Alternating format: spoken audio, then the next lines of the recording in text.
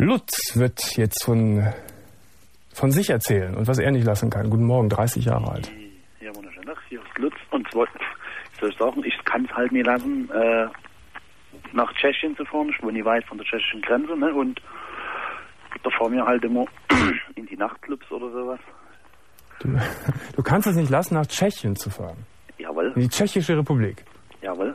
Und fährst dort, äh, du wohnst in Bayern oder wo? Nein, Dresden, Sachsen. In Dresden. ja. Und äh, du fährst dann in einen, einen Nachtclub, in eine Bar. In mehrere. Und was passiert dann da? Gut, man sich halt ein bisschen mit den Mädels unterhalten, ja, und dann, wie gesagt, ich fahre nicht alleine, ich fahre mit, mit Bekannten, ne, und da fahren wir erst einmal alle los, und dann haben wir immer, da treffen wir uns irgendwo, und dann tun wir uns wieder trennen, und dann fahren wir halt, fahre ich dort, dort, dort und dorthin, und dann, wenn irgendwie ein Mädel uns gefällt, da, oder mir gefällt, dann gehen wir halt aufs Zimmer. Äh, warum muss das unbedingt äh, Tschechien sein? Ach ja gut, das ist halt billig, ne, Achso, daher weht der Wind. ja, weil, Es ist billig. Äh, wie oft fährst du denn dann in die Tschechische Republik? fast jeden Freitag fahren wir, Fast jeden Freitag. fast jeden Freitag. Fast jeden Freitag. Und fast jeden Freitag äh, schleppst du denn da auch eine Frau ab, quasi. Oder gehst mit ihr aufs Zimmer. Fast jeden Freitag, ja. Äh, wie teuer sind die Frauen da? Oder was kostet das? eine halbe Stunde 70 Mark, die Stunde 130, 150. Ist aber auch nicht so billig dann, ne? Geht schon. Ist das, äh, du, wirst den Vergleich haben. Wie teuer ist es in Dresden? Weißt du? Dresden kostet die Stunde 150, 200. Ja, also ist dann ein bisschen günstiger da. Ja, natürlich. Ja. Danken noch und Was? noch eine Stange Zigaretten. Danken, Benzin. Danke. Ich kann, ich habe es mit der sächsischen Sprache nicht so. Danken, also das habe ich nicht so verstanden. Äh, Zigaretten noch mitnehmen. ja. Äh, hast du eine Beziehung? Nee, war, vermutlich wohl nicht. Ich bin verheiratet. Du bist verheiratet auch noch. Lutz, was erzählst du mir hier für, für Sachen? Du bist auch noch verheiratet und hast fährst jeden, jeden Freitag in Puff nach, in die Tschech, nach Tschechien. Fast jeden Freitag, ja. Also wenn ich Nachtschicht habe. Und die, und die Frau? Deine Frau? Du bist zu Hause. Ja, das ist mir klar, sie zu Hause ist. Weiß die das? Die weiß das nicht. Die weiß, dass wir da drüber fahren. Also nicht immer, ja, nie Freitag, sondern dass wir Tag, dass ich ihm danken vor und Zigaretten holt und sowas. Ne? Also die denkt, dass ihr da wirklich nur irgendwelche Einkäufe macht.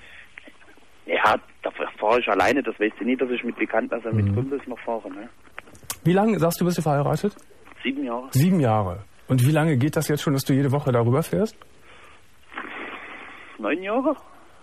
Wie bitte? Neun Jahre? Neun Jahre seit Öffnung der Grenze. Ich habe ein halbes Jahr da drüben gewohnt. Hatte ich meine tschechische Freundin. Aha, also das geht noch viel länger, als, als dass du verheiratet bist. Ja, ja. Du, du bist also in die Ehe quasi reingegangen mit, mit dieser Angewohnheit. Mhm. Ja. Ist es nicht mega scheiße, Lutz? Ach, ja, das hat sich halt schon fast zum Kult bei uns. Also bei meiner Bekanntschaft ist das schon Kult geworden. Ja. Ich würde jetzt auch gar nicht sagen, wenn... Da werden, Rundru da werden freitags Rundrufe gestartet und Freitag hat jemand einen Plan.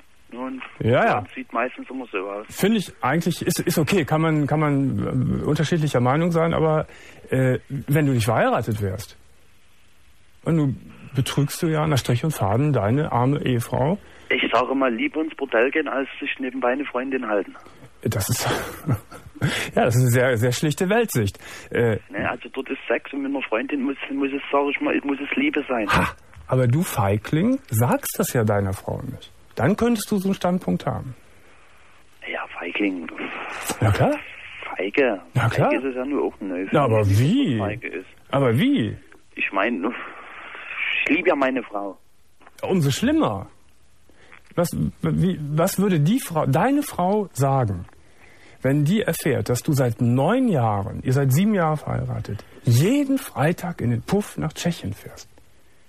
Die würde dich wahrscheinlich kreuz und quer in den, in den, in den Mond schießen, auf den Mond schießen. Das kann sein, weil meine Frau ist sehr temperamentvoll. Ja. Habt ihr Kinder? Nein, das ist auch, ne, keine Kinder, aber meine Frau ist noch eine Ungarin. Mhm. Und die sehr, sind sehr temperamentvoll.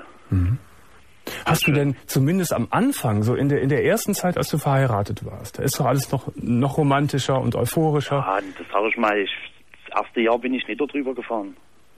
Ne? Wo Aha. wir verheiratet waren im ersten Jahr. Aber Aber dann hat sich das doch wieder ein, einge, eingependelt. dann hat sich das wieder eingependelt. Mhm. Ich, mir ist schon passiert, bin ich mit meiner Frau nach Ungarn gefahren. Ne? Mhm. Und da, da fährt man durch, durch Stubi durch. Mhm. Ne? Sommer Fenster unten gehabt, und da hat gesagt, da haben sie gesagt, da haben sie gesagt, Lutz. Und hat, und hat, so, hat die Tisch gerufen, sag ich, nee, wir heißen, heißen wir ohne andere Lutz, ich heiße nicht alleine Lutz. Haben die Mädels dich erkannt von der Da hätte, Straße? da hätte sie mich bald mehr ertappt. Mhm. Konnte ich halt nur abwenden, so. Ich bin ganz fassungslos, Lutz, was du mir erzählst.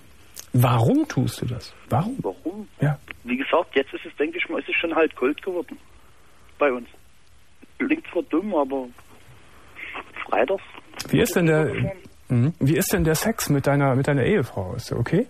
Ja, ganz okay. Ganz okay. Also eigentlich, eigentlich wäre es gar nicht, also von, von, vom, vom Druck her wäre es gar nicht nötig. Eigentlich vom Druck her wäre es nicht nötig. Und trotzdem machst du es und trotzdem verletzt du so deine Frau. Wir, wir drehen eben den Spieß rum. Stell dir mal vor, äh, dieses würde deine Frau machen. Nehmen wir mal an. Ne? Wir spinnen nur mal so eine Fantasie jetzt. Und Ja, du, wir, es gibt das Sprichwort, was ich nicht weiß, macht mich nicht heiß. na gut, und du würdest es dann erfahren. Was wäre dann? Weiß ich nicht, der größte Jahr bestimmt. Äh, schläfst du mit den Huren immer geschützt? Es ist schon passiert, ungeschützt. Ja, ist auch schon passiert. Jetzt wird, jetzt, jetzt, jetzt wird der Spaß auf für mich, Lutz. Also er hört schon lange auf. Aber jetzt hört er endgültig auf. Du betrügst und belügst nicht, nicht nur deine Frau nach Strich und Faden seit Jahren, deine Ehefrau, sondern du gefährdest sie auch. Extrem. Du gefährdest Ja, dein Leben, aber dir geschieht es dann recht, würde ich fast schon sagen. Will ich mal so hart. Das waren dann aber, auch, was weiß ich, ist, klingt zwar dumm, aber das bestimmt dann zehnmal bei der gleichen gewesen. Naja, da ist das halt passiert dann. Ja, das klingt recht, recht dumm und ist auch dumm. Also zehnmal bei der gleichen nach dem Motto, da kann ja dann nichts passieren. Weißt du, wie viele Männer die durch, äh, durchzieht pro Tag? Darüber brauchen wir ja gar nicht diskutieren. Ich habe mich schon manchmal nachmittags mit denen getroffen, ne? Und Mhm. so mal nach Prag gefahren oder ins Kaffee trinken gewesen. Weißt du, ich bin richtig erschüttert, mit welcher Selbstverständlichkeit du das alles so erzählst. Nach dem Motto, die alte zu Hause, also meine Ehefrau, äh, das, soll der, das soll die gar nicht interessieren. Ich habe hier meine Sache, meinen Kult mit meinen Jungs und meinen Kumpels und mach das so. Das ist mein Leben und äh, das geht die gar nichts an. Ja, ne, nur gut, in der Beziehung, natürlich geht es nichts an, aber ich meine, was soll ich sagen? Wie soll denn das weitergehen jetzt? Soll das die nächsten Jahre immer so laufen? Ja, heute ist schon wieder Freitag. Ja, genau, heute. Ja, jetzt morgen ist Freitag, heute ist Freitag. Das heißt, du Heute. fährst, du fährst heute Abend wieder hin. Fast 100 Prozent, ja, nach der zweiten Schicht. Weißt du, was ich jetzt mir eigentlich so richtig wünsche? Dass dich jetzt jemand erkannt hat an der Stimme. Vielleicht die beste Freundin von deiner Frau. Und damit du jetzt so richtig auf die Schnauze fällst. Das hättest du wirklich. ich- Nee, das hast. Nein, Lutz, das hast du verdient. Das hast du wirklich verdient. Bei aller Kumpanei und allem, wo man sagt, okay, wir Männer machen das so Sachen. Aber nicht, wenn du seit sieben Jahren mit einer Frau verheiratet bist äh, und eine Beziehung hast. Und die Frau so hintergehst. Und dann ab und zu noch sogar ohne Gummis mit der vögelst. Nee, wirklich nicht. Glaube ich nicht, dass sie das erfährt. Ich wünsche es dir. Weil die meisten, die arbeiten, äh, die strafen, die arbeiten früh. Ja, hier sind die seltsamsten Sachen schon passiert über diese Sendung. Kann sein. Kann es sein, dass mich irgendein Kumpel jetzt hört. Ne? Beim Sonnabends, dann treffen uns alle beim Kumpel in der Garage und dann wird halt der Tag ausgewertet, der Freitag. Ne? Ah, mir dreht sich der Magen rum. Ich möchte es gar nicht weiter hören. Also, Lutz, das ist dein Beitrag zum Thema Ich kann es nicht lassen. Ich finde es wirklich mies, wie du deine Frau behandelst. Aber das habe ich jetzt ein paar Mal schon gesagt. Ich danke für deinen Anruf. Auf Wiederhören. Wieder Mann, Mann, Mann, Mann. Das darf doch nicht wahr sein. Monika, 25 Jahre alt. Guten Morgen. Ja, hallo. ich hoffe, Sonja. dass ich mich jetzt bei dir nicht so ärgern muss. Nein, Ist das, also, nee, sag du mal als, als Frau auch was dazu. Obwohl das ist ja scheißegal, als Frau oder Mann. Ist das nicht super mies, was der macht? ekelhaft.